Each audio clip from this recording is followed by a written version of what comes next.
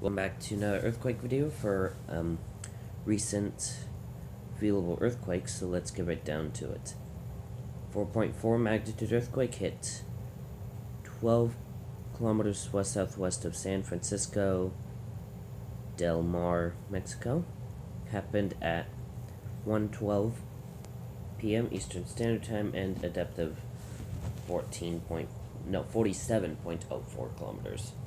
And with that in mind, that's really about it. If you felt it, let me know comment section below and from where as I zoom into the epicenter and is determined that it has happened in the water.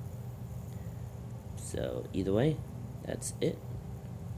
Clearing out any possible notifications and see you in the next video. Bye.